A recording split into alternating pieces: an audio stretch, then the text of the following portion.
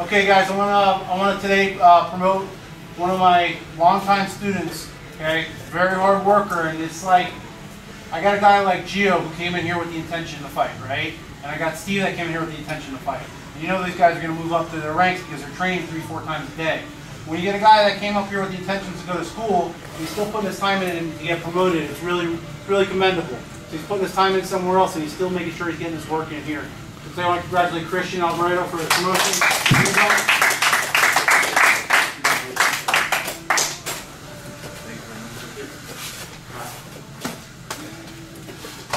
Okay, guys, everyone give him a hand. Okay, everybody, great class today. Thank you.